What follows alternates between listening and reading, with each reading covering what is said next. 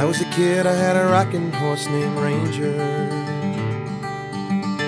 Out on the front porch, we would ride, we would ride. Little red cowboy boots, little red cowboy hat, and a pistol that shoots straight as an eagle flies.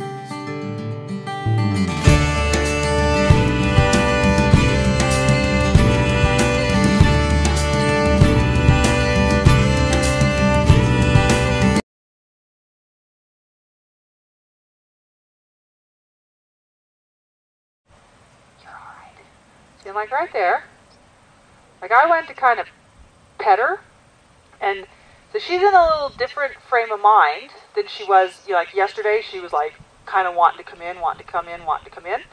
And she and I kind of established a little bit of a deal yesterday that I'm sort of running the show, which she's not exactly used to. And so now, when I kind of went to offer her a little bit of support, and she did like that, that's a place where I'm not going to follow her head and force my touch on her because I'm meaning it as I'm we're still friends, it's all good. And she's going, I'm not seeing it that way. okay? And so if I go, no, really, I mean it, my intentions might be the best. You know, I'm meaning to be friends. She's not in a place that she's perceiving it that way. So I need to not force that. Instead, I need to ask her back to center, like I did.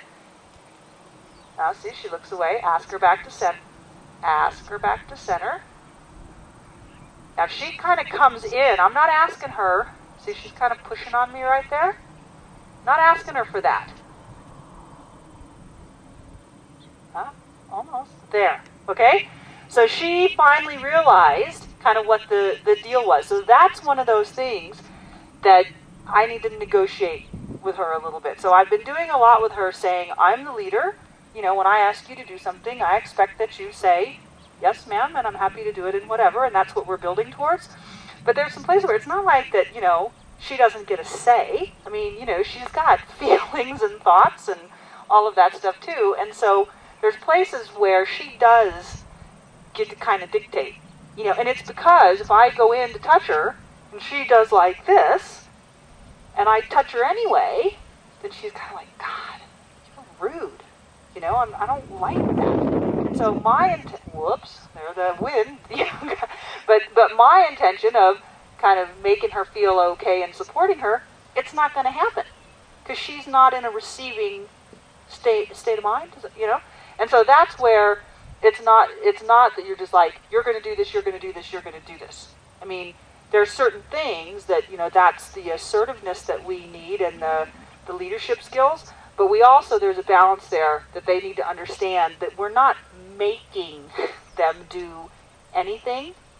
We're setting situations up through our leadership to support them to believe that they can do it or to support them to decide they're going to do it, which is different than I'm going to make you do it.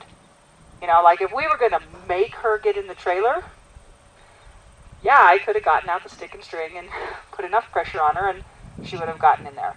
Or I could have, you know, taken a longer rope and dallied her to the front of the trailer so that she couldn't, you know, back up and put enough pressure on her and she would have, you know, I mean, so there's ways you can make that happen, but I'm sure you see all of the negative results, you know, that would flow from, you know, from doing it that way. Yeah, that's kind of nice. Not getting in that sleepy place. Okay.